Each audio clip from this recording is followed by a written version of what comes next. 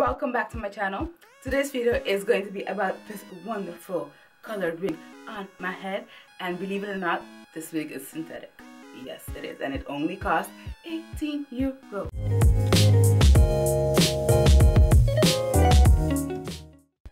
Now this look was actually inspired by Patricia Bright because I saw her video in which she had this really bright red color and I thought that was a bit too red for me to start with since this is my first ever colored wig that I am wearing.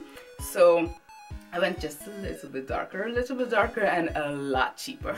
so yeah. So I ended up on AliExpress, which is my go-to place. And I took a gamble because nobody had ordered this wig before. I was the first one to order.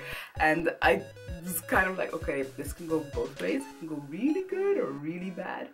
I just thought, you know what, let's try it. I really wanted the colored wig and I wasn't prepared to pay a lot of money for a wig not knowing if I would actually like the fact that there's a color in it and if the color matches me. So this is the wig that I came up with guys. And I have to say I like it. I really like it. And if you like it too and you want to know more about the wig and how I got it looking like this, then keep on watching and let go.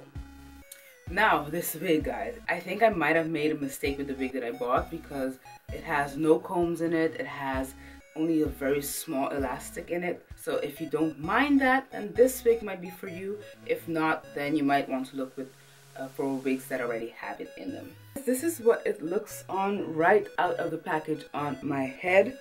Now, it does not look bad in the sense of I love the curls. The hair feels super soft. The only things that bother me are this piece of hair, hair that kind of like bulks. So I have to see how I can get that flat. And of course, I did not tweak this hair. So this hair looks like I did not tweak this hair. The part is non-existent, literally. I mean, it doesn't have a lace frontal, so I'm going to have to get some baby hair situation going on in here.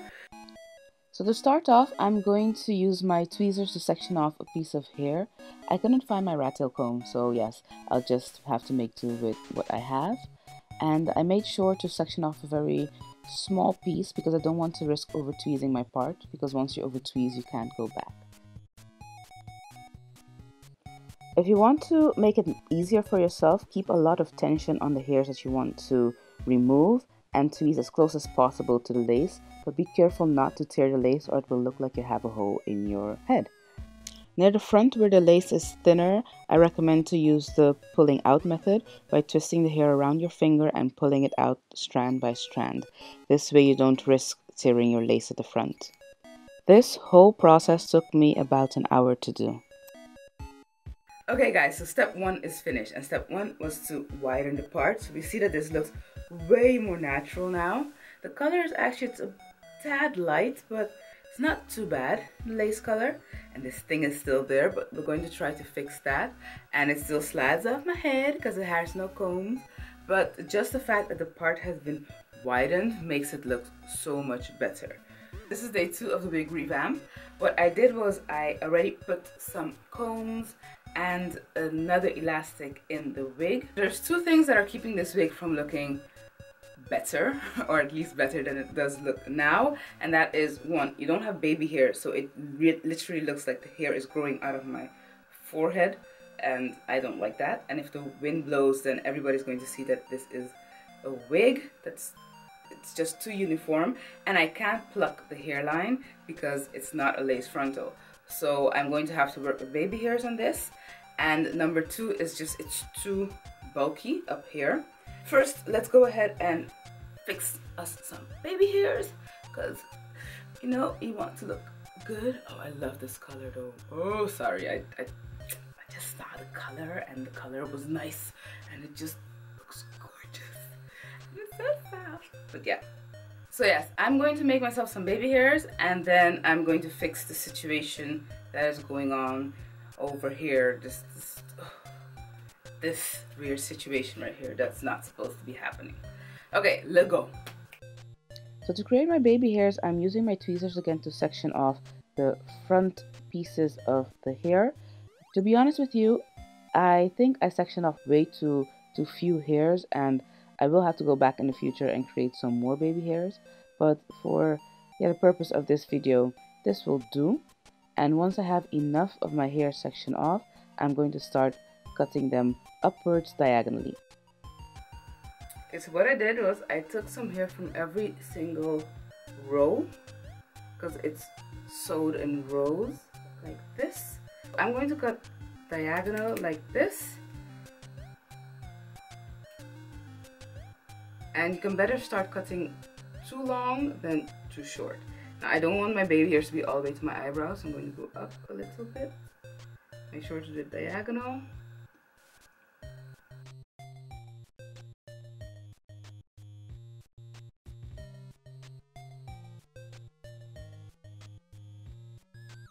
Important point in making this wig look more natural is to have a few pieces of hair that are concealing the fact that you have a wig right near your ear. So if the wind blows your hair backwards, you will only see the hairs from your wig and not your own actual hairline underneath it. Now please forgive me, forgive me, I'm very, very, very bad at doing baby hairs. So this is just me trying something and clearly it doesn't look really amazingly great, but oh well.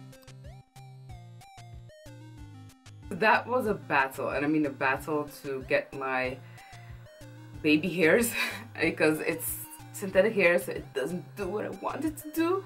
Um, and I'm too lazy to go get my got2b so I have my regular gel. We're going to see if it works with the regular gel. I have it laid down now and it's drying. And if it does work then we can move on to the next step which is to actually tackle this part right there that just doesn't want to do what it has to do.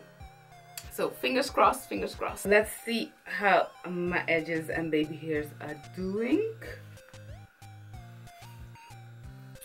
Well they're not too bad. I mean they're not fancy or anything because I can't do fancy baby hairs. I'm trying. Not working out for me. They get the job done. See it already looks way way way better than it did before. But now we need to get this fixed right there. Need to get it fixed need to get it fixed. So I have it on quite a hot temperature. It's number five. I don't know exactly what temperature it is but it's like the highest that it can go. So I'm going to take the part that's so bulky this entire piece of hair and I'm going to flat iron it or at least the root to try to tame it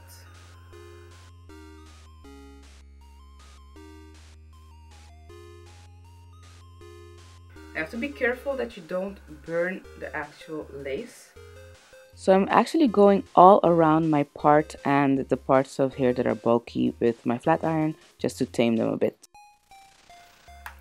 Well, look at that. It actually worked, guys.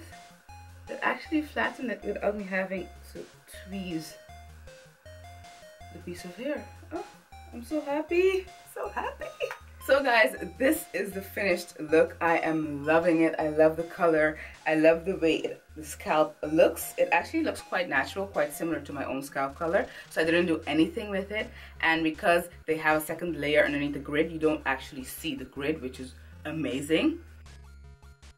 Now I could have slightly darkened it, but I'm I don't really mind the parting color and you don't really see it from afar anyway and I love the fact that it's a gradient starts from dark going to the red color. I actually don't think this looks synthetic at all to be honest with you and it doesn't feel synthetic either and I just love the way it took to the heat, flattened it out a bit. Still, you can still see a little bump but we can overlook the bump. If you can overlook the bump, I can overlook the bump.